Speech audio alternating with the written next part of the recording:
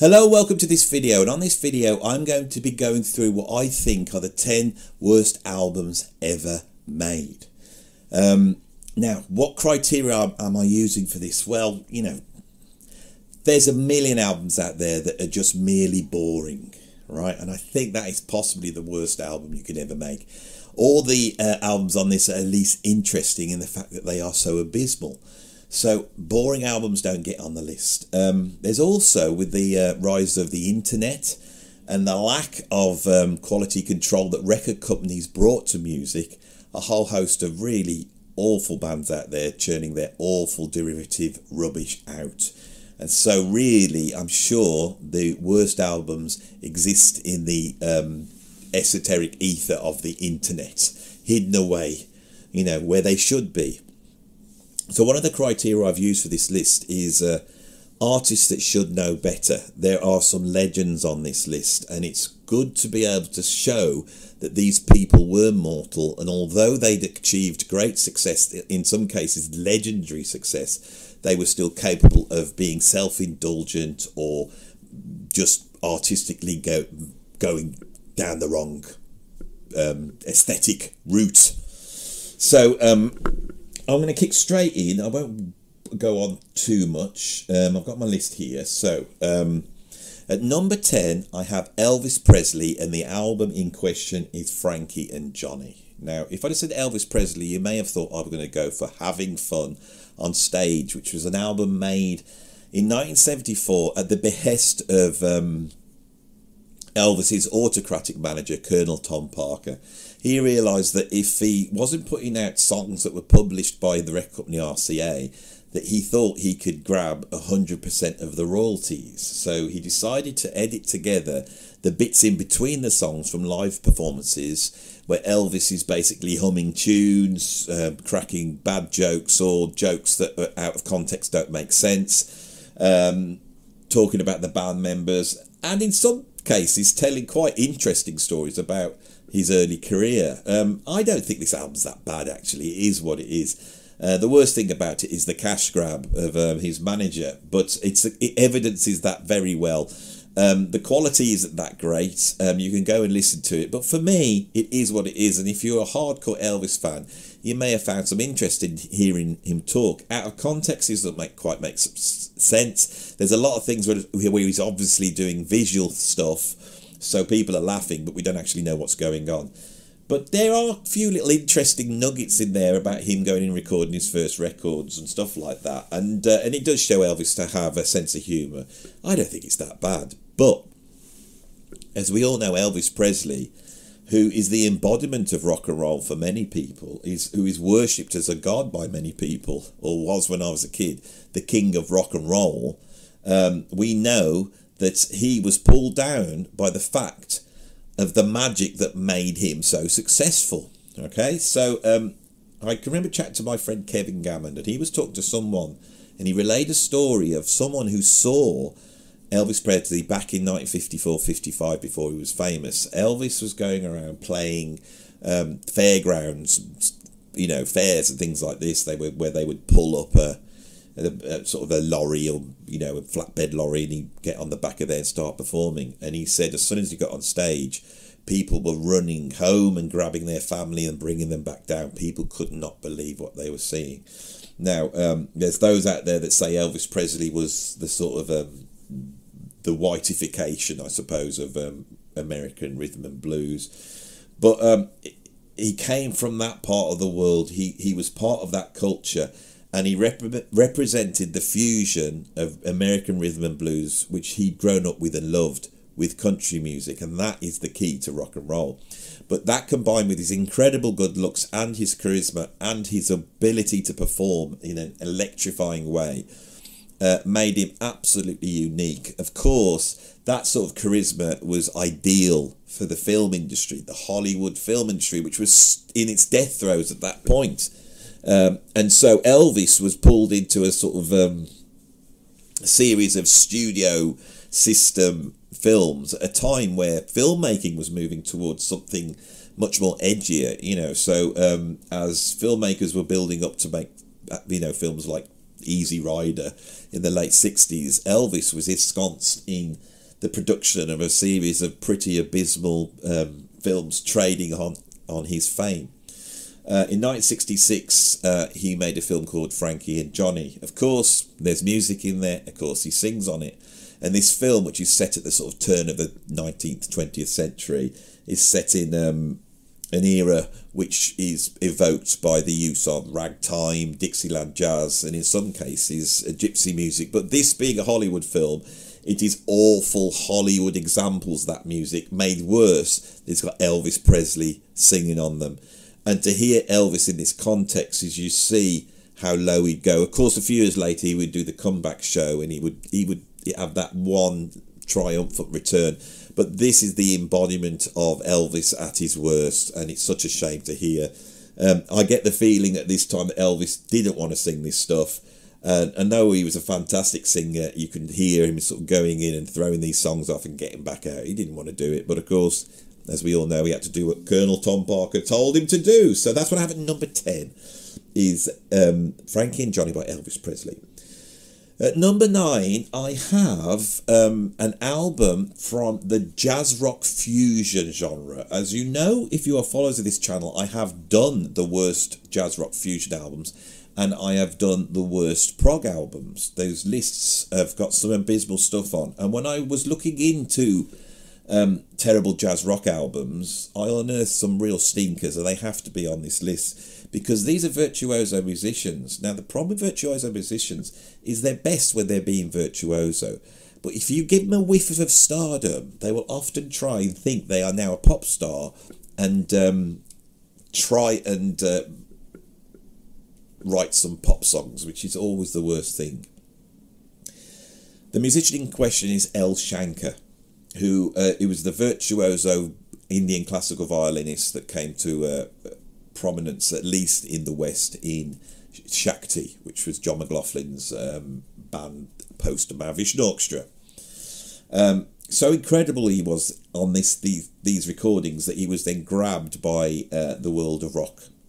Uh, first by Frank Zappa, then um, Peter Gabriel, David Bowie, and I think at this point um, El Shankar believed that he could make a bid for pop success. So he put a band together called the Epidemics, and the album came out in the early 80s called Epidemics. Now, on paper, this should be an incredible album.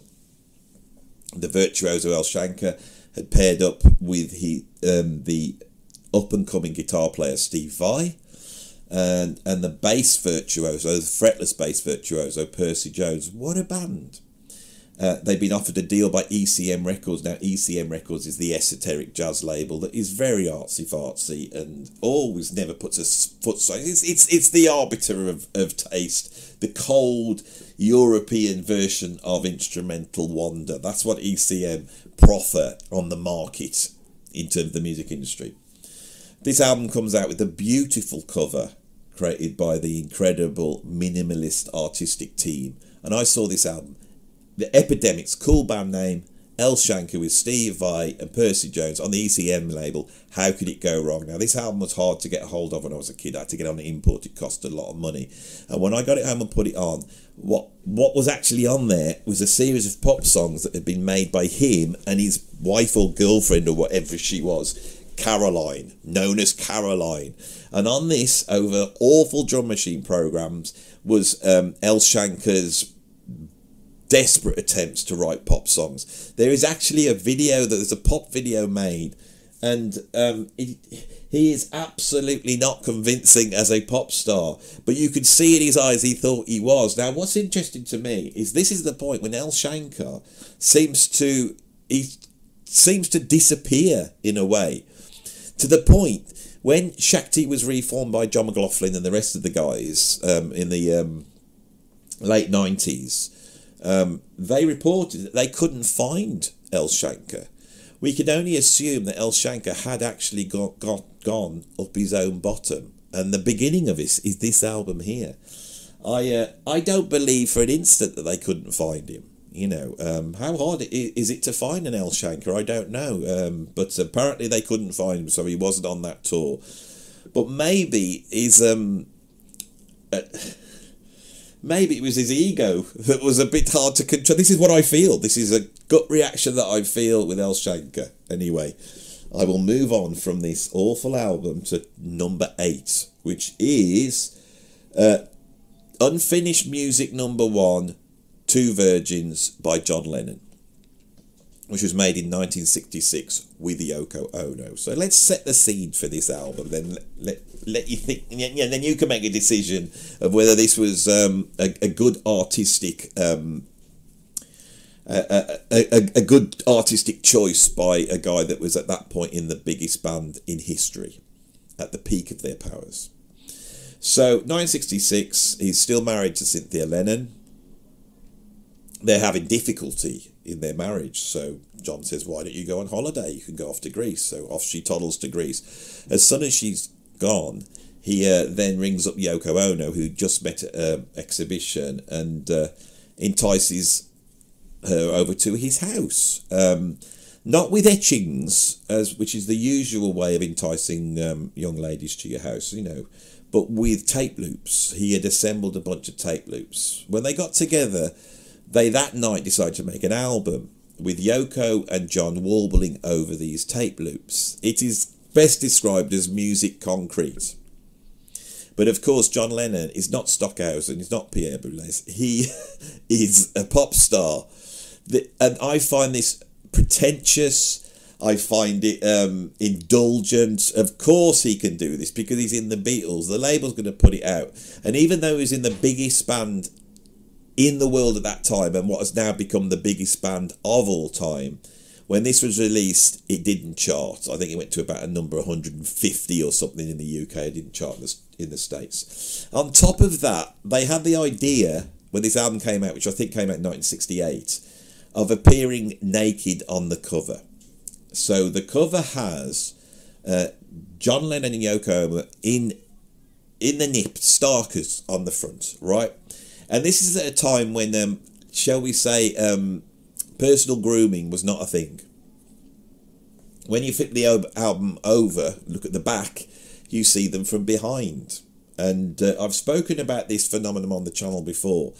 Um, if you're going to have a bottom on an album cover, make sure it's a strong bottom. If you look at Going for the One by Yes, and you look at uh, that figure, which I'm pretty sure is Patrick Moraz on the, on the, on that cover, at least that's a strong bottom. Whereas if you go to Hemispheres by Rush, that chap that's dancing around on top of the brain, that is not a strong bottom. And neither John or um, Yoko had a strong bottom. I don't want to see that. And of course, nobody did. And so this album was was was like basically avoided by all the retailers and record shops, and so it had to be released in a brown paper bag, which um, in the 1950s this was the way that um, gentlemen who were buying certain magazines under the counter would be given um, their um, purchases in a brown paper bag. It's a something that Led Zeppelin did far more successfully when they brought out In Through the Out Door. But actually, you know, Lennon um,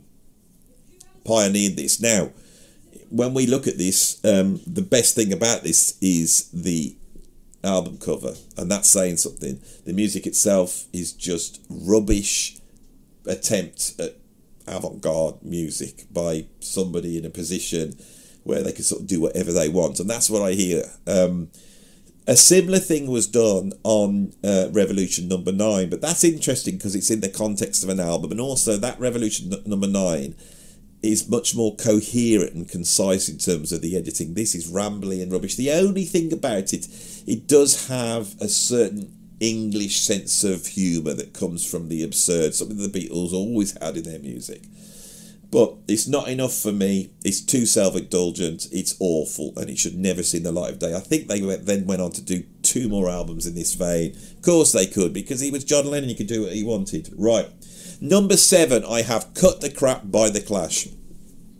I am of a certain age that back in the uh, late 70s, early 80s, when I was discovering the new wave of British heavy metal and then progressive rock and jazz fusion, I was a bit, um, I wasn't following the trend of my peers at school who um, worshipped The Clash. There is a certain thing about The Clash. If you're my age, you bump into a British person of my age they will worship the Clash. Um, if you go down to the local rehearsal room now, it won't be full of kids trying to play rock and roll. It will be full of middle aged men trying to play music that sounds like the Clash, right? The Clash are worshipped. Um, um, they were, of course, one of the uh, originators of British punk.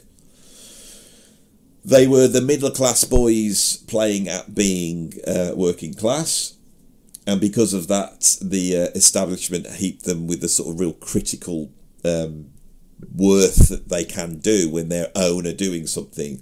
Uh, the Sex Pistols, who really were working class, have got portrayed thanks to the posh boy Malcolm McLaren as being the con artists when they were the real deal. Okay, so I've always had a little bit of a thing with the Clash. Um, you know, you know, this is that it's it's not quite as genuine as everybody thinks, but that is really being harsh.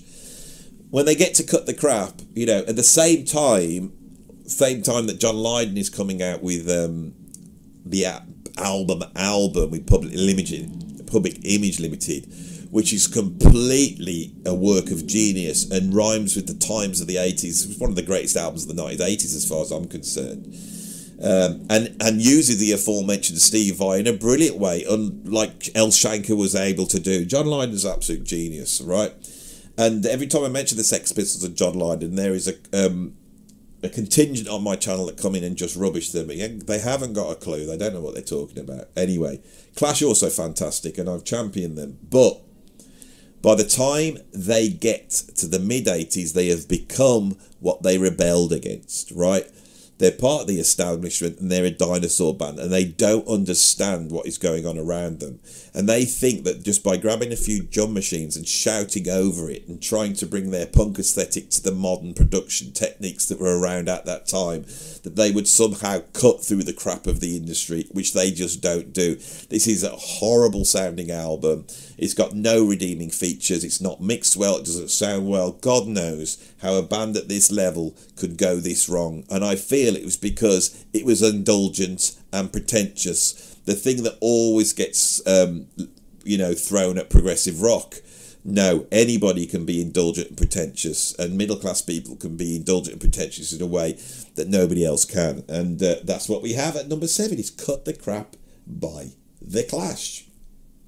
Right, at number um, six, I have one of my favourite bands, uh, Pantera, and we have the album from the early 80s, Metal Magic. Yes, they have been around for that long.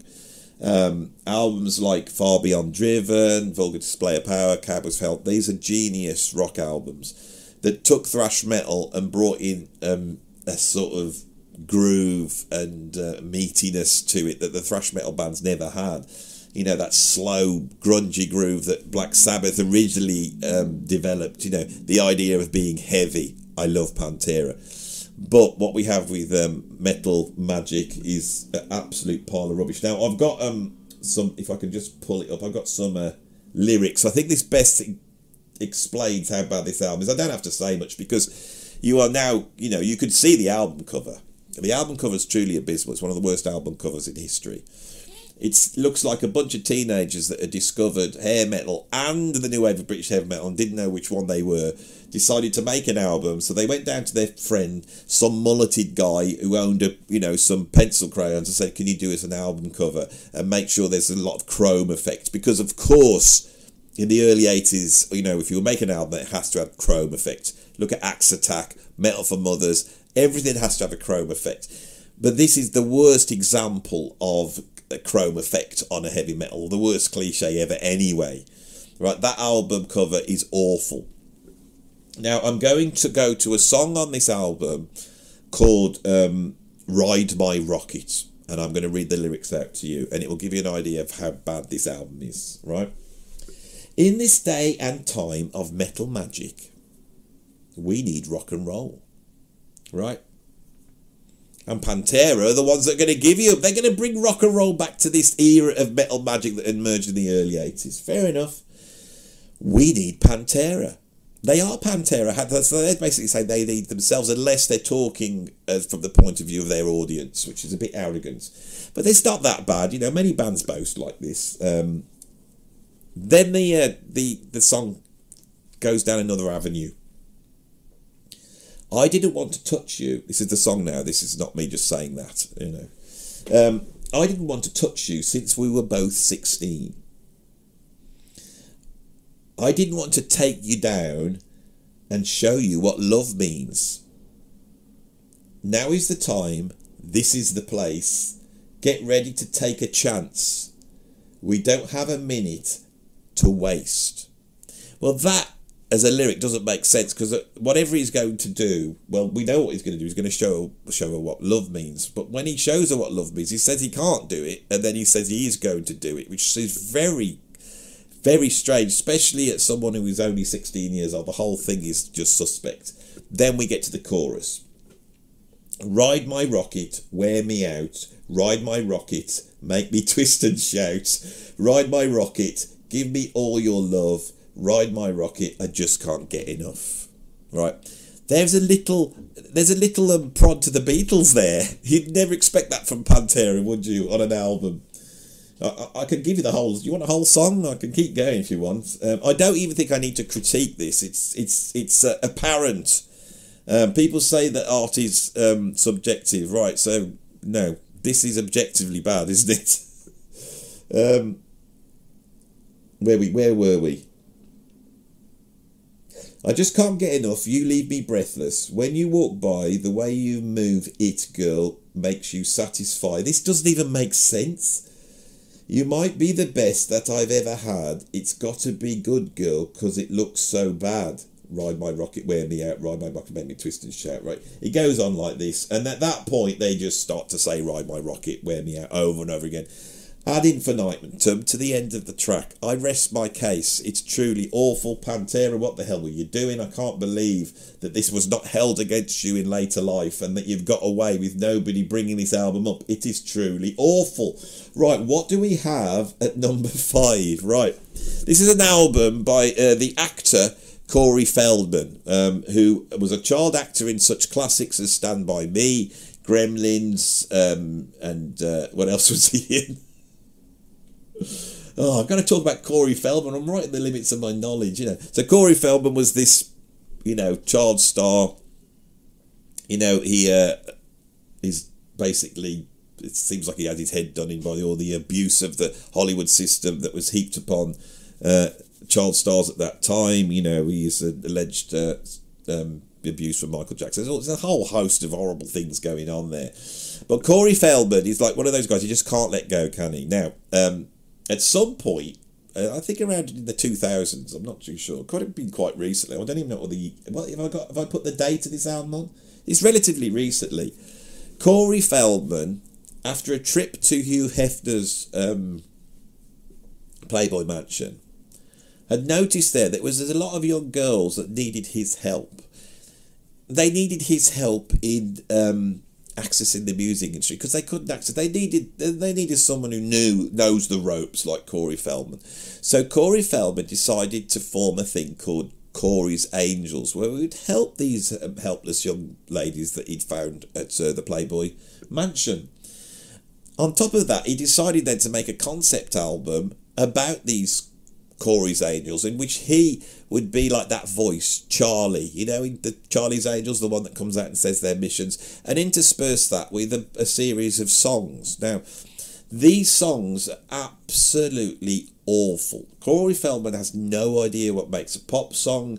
They're badly recorded, they're mixed and they're harsh, and then it's interspersed with these bits in between that uh, as bad as the albums. This is an unlistenable album, angelic to the core, right? Um, it's it's low hanging fruit, I think, to go find somebody who's not necessarily a, a musician or pop star, and um, and look at the albums they make because they're usually abysmal. But this has something that which is even worse.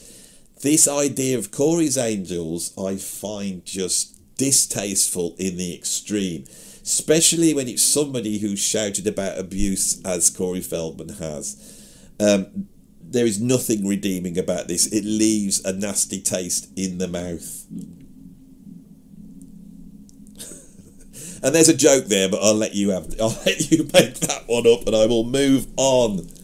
to number four, right? I think on number four, I've discovered the worst um, music act in history.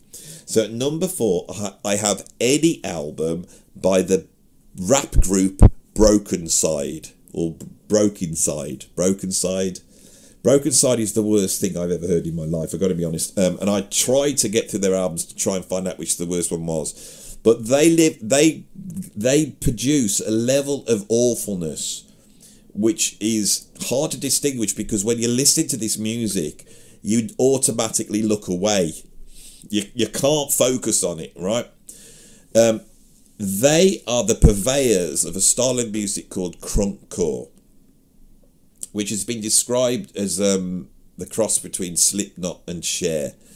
Um, that is giving it too much credit. It's it, it's um, I don't know it's basically them shouting. It's these sort of what sound like indulged, you know, privileged, spoilt teenagers shouting over awful programmed hip hop beats. The reason why I broke Brokencyde in here because I think in 2006 when they formed, this is the seed that has impregnated the music industry as we know it, and is is um it, it's like the concentrated vile virus that has got into the music industry to make it so truly awful right these guys just shout horrible obscenities over awfully programmed drum beats and then they've mixed it so harshly they've compressed it as loud as it possibly can you can't listen to it for too long because it's harsh on the ears while they scream at you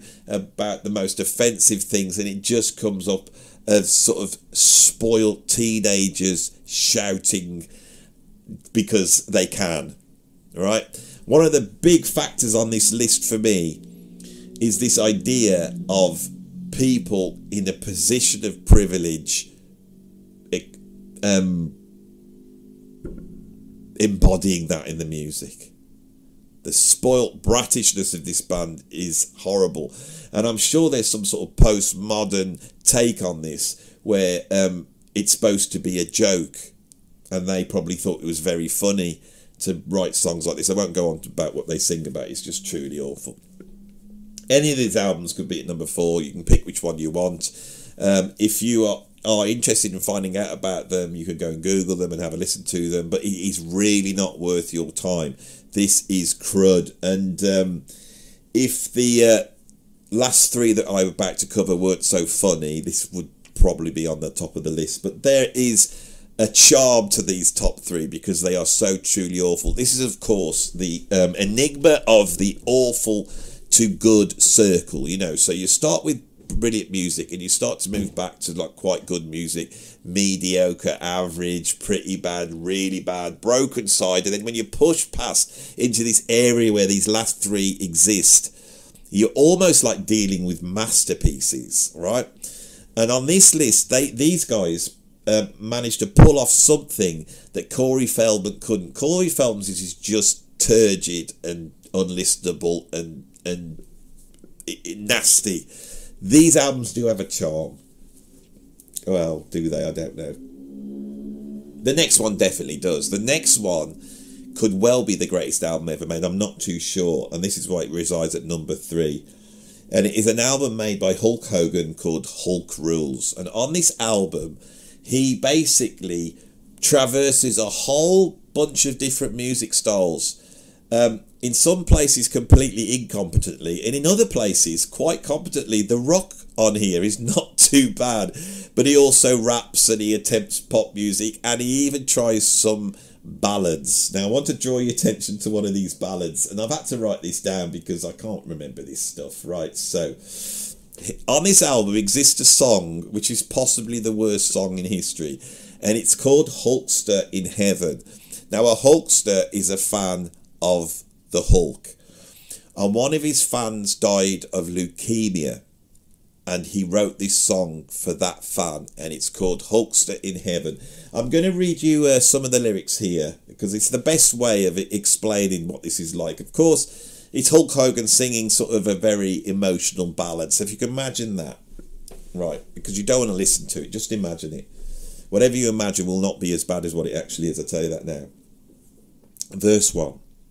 I read it in the papers. I saw it on TV. I guess there'll be one empty seat when I wrestle at Wembley.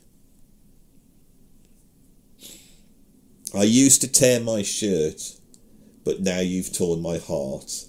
I knew that you were a Hulkamaniac right from the very start. And then backing vocals, right from the very start. Chorus, you were my friend, you were my friend. I'll see you again. This is not the end. When the Hulkster comes to heaven, heaven, heaven. Oh, so the Hulkster is not the name of his family, it's the Hulkamaniacs. I'm sorry, I've got it a bit wrong. I've realised reading this out loud I got the concept that the Hulkster is him, isn't it? So he's talking about himself in heaven. This is makes it worse. So Hulk Hogan is saying at some point you'll be heaven and he'll be able to meet up with his fan who died of leukemia. This is real. This this really happened. I wish Hulk's love could bring you back again. You are my friend, you are my friend, and I'll see you again, I'll see you again. Verse 2. When I climb back in the ring, I know we'll win this fight. I wish you were here at the ring site to cheer me on tonight. The spotlight now grows dim, and now it's not on me. The prayers we've said together are still our guarantee. And then it's the chorus again. Um, this album uh, is loved by people all over the world, and i have got some reviews here off Amazon. Um, somebody has said the Hulk, the Hulkster has created this gener- generation's Dark Side of the Moon. Without a doubt, he has. Someone else, probably the best album I ever owned. Hulk Hogan's sage and ev- evangelical advice provided through the medium of song has changed my life. I want to be a Hulkamaniac displays Culkin's ability to communicate the issues that deeply affect today's society. His delivery is unsurpassed by any other musician. His warnings about drugs and the importance of education and family are more than relevant in today's society. Don't let this review deceive you into thinking Hogan's music is confined to one genre. Hogan forays, Hogan's forays into rap, rock, country demonstrate, demonstrated on Hulkster's back, American made, and the wrestling boot travelling band, respectively, should not be underestimated. One of my work colleagues, on, upon listening to this sublime flowing ballad that is Hulkster in Heaven, commented that I choked and began to uncontrollably weep at my desk. But these were not tears of grief, they were tears of joy that this most pure and beautiful song I'd ever had the pleasure of that I'd ever had the pleasure of listening to. Right, he just goes on and on. There's loads of these, loads of these. This album is a collection of musical beauty. When pushing this foray into the musical world of the Hulkster, upon recommendation of my, my friend, I bet it's the same guy, whose musical taste I have never doubted. I have to say, I was slightly dubious, but, but upon listening, this disappointment was not what I had. But I have to ask, how can an artist capable of adapting to so many different genres of music, from 80s um, guitar synth, Hulk's the one, to gentle country, wrestling boot travelling band, possibly be ridden to the bargain bins of service stations up and down the country? I'll never know, right? I'm not reading these great. Sorry. Uh, it's what happens when you get to my age. It's like I, have got um, these these glasses. They're, they're trifocals. These glasses, and if I haven't got something in exactly the right place. I can't right read it, but uh, I think you get the gist. Um, so it could well be one of the great albums ever made. Um, I put it on and it, I found it completely awful. But anyway, we will move on to number two. Right. When I did my 10 most important bands in music history, there were a number of bands that people said should have been on the list. Pink Floyd was one of them. Um, ironically, I on the following video, I had uh, pointed out that um, there's a certain type of person that will basically put a comment that because that, can be boiled down into just two words: Pink Floyd question mark. So two words, and then uh, um, whatever you call that. Um, what are they called? Um, what are they called? Like commas and full stops and question marks and exclamation. They got a name, haven't they? Got a collective name. Anyway, people thought Pink Floyd should have been on the list. They were wrong. Uh, but the one that came up as well was the Beach Boys. Now, I think they're overestimating the Beach Boys because for some reason Pet Sounds has gone down history of being one of the most important albums ever made in the history of mankind, which I don't think it was. I think it was quite an important album back in 1966, but you know, um, but people seem to think that. Um, before that, they were they were a cool like sort of barbershop pop band that you know happened to before you know British people came out and showed the Americans actually how to rock. You know, they they, they were an interesting little band. Um, Good Vibrations, one of the greatest songs ever written. They are a great band, right? And maybe they should have got on the list. Maybe I was wrong. But the reason I didn't put you on the list is because they made an album called Summer in Paradise, which came out in 1992. It's on number two in my list. I put this album on. It is just absolute rubbish, right? Now, of course, you know, you've got Brian Wilson version of the Beach Boys, and he's obviously, you know, an insane genius, as we know. But when Mike Love gets control, it just turns into pap, and this album is the best example of pap ever going. The album cover's actually quite nice, and we we and you look at that, you think, well, maybe the Beach Boys are going to do bring their their signature sound to the, the the troubles that are happening out in nature. You know, climate change and all this horrible stuff that's been been done to the animals and the sea you know, uh, uh, and I think they're trying to do that on this album, but it's not like that. It's awful. 80s production back in 1992. If this had been, been done in 1982, it would be truly awful. They are totally out of date. They come in and it's so self referential that they have to keep harking back to their past triumphs on an album where they attempt to rap. It's just the worst thing I've ever heard in my life. I, do think this is absolutely. No, there's one thing that's worse. It's the album that's number one. This is absolutely rubbish. I have got a little sample of the lyrics. There's a track on there called "Summer of Love." So in 1992, here they are trying to, um, you know, point you back to the summer of love in 1967, which they're trying to pretend that they were a part of, unless the worst scenario is it's the summer of Mike Love, which I think is might be what they mean. I've only got a, one sample of this lyric, and it's just terrible.